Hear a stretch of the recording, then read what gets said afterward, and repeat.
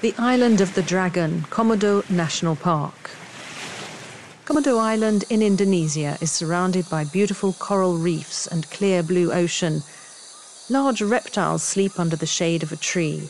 They lie on their stomachs to reduce their body temperature as their big bodies have a low tolerance to heat. In midsummer, the temperature rises to 40 degrees Celsius here.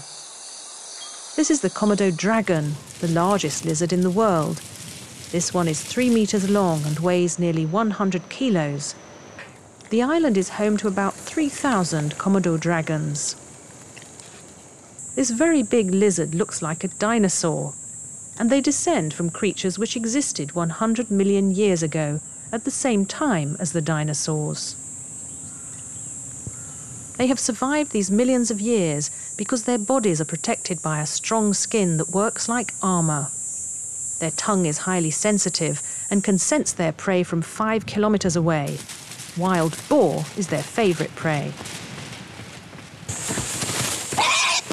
The Komodo dragon's saliva contains a poison to kill its prey slowly over several days. The dragons can eat up to 80% of their weight at once. They can survive for one month without eating.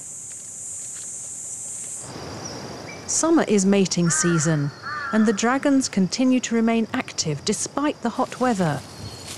This male dragon is slowly approaching a female. However, it seems he's not the only one who's interested in her. The two males fight fiercely. Their strong claws can rip the thick skin of their rival.